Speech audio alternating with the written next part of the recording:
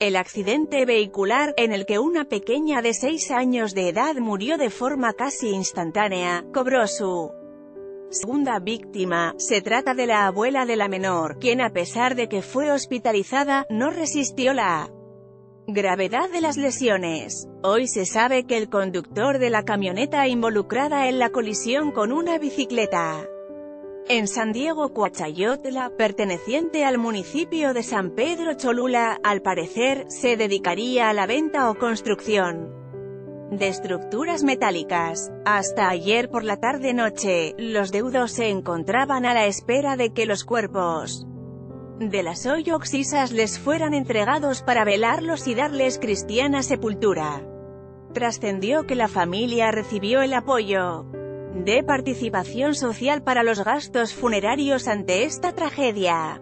En tanto, uno de los vídeos captados por las cámaras de vigilancia que se ubican en la zona, revela que el vehículo que colisionó a las víctimas, cuenta con perfiles de acero para la transportación de estructuras metálicas que incluso son los que golpean en la cabeza a la pequeña Daya Yellen, provocándole exposición de masa encefálica. Virales y el meme dorado es para aquí los mejores de los Oscar. Lo anterior, debido a que la menor viajaba parada sobre el cuadro, entre su abuelo y su abuela, es decir, en medio de la bicicleta azul colisionada por la camioneta blanca, cuyo operador escapó de la zona. Pese a las lesiones, los golpes y el dolor, según lo que se observa en el video, la abuela de la menor todavía intentó levantarse para correr en auxilio de su nieta y su esposo, sin embargo, las heridas no le permitieron continuar. quedando tirada en la cinta asfáltica, al igual que su cónyuge, el cual únicamente salió con algunas contusiones que no ameritaron traslado a un hospital. Si bien, la grabación exhibe la falta de precaución por parte de quien manejaba la bicicleta, al momento de cruzar la carretera federal México-Puebla entre las calles 17 Norte y Tlahuapan, también se muestra la velocidad con la que conducía la persona a bordo de la camioneta Nissan, quien incluso no pudo detenerse ante la presencia de las Oxisas y el quincuagenario.